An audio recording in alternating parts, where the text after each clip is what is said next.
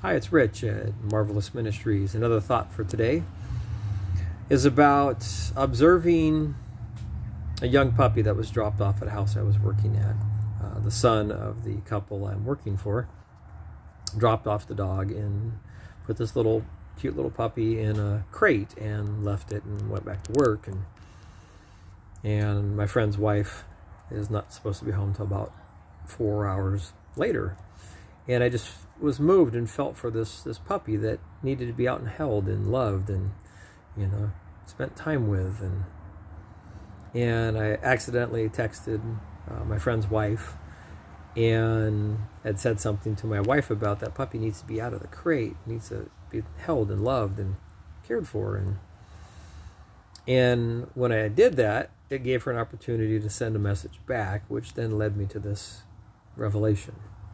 She said, well, the puppy uh, goes potty all over the house.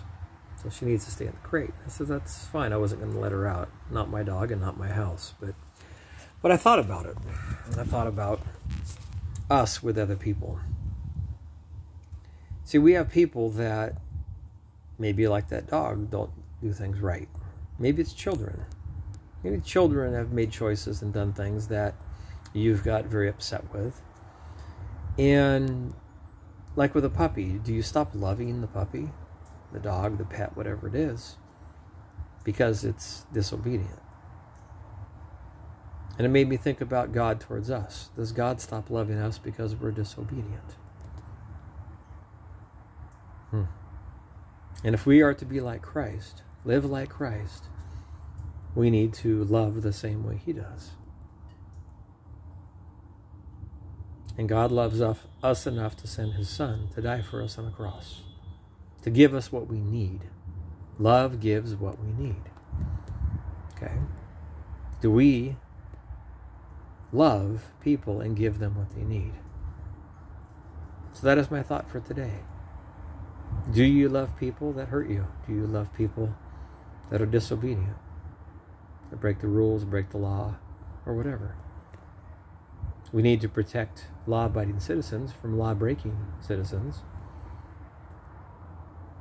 But how do we teach our children? Do we teach them with love or discipline? I grew up in a house that had just discipline. I didn't feel loved. So I just am sharing this with you transparently. See, if I hide my life, my pain, my suffering, my failures, my victories or whatever from people and slide into heaven going, thank God nobody found out. Whereas if I share things transparently, maybe somebody will get an answer to something that they're struggling with. Maybe they'll reach out and get help from somebody. I didn't have help when I grew up. I was essentially on my own.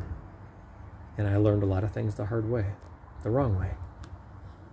And I hope by sharing with other people they can relate to something that I've gone through or am currently going through and how I'm dealing with it. And hopefully, I'm dealing with it more like Christ than my old nature. Thanks for watching. This is Rich.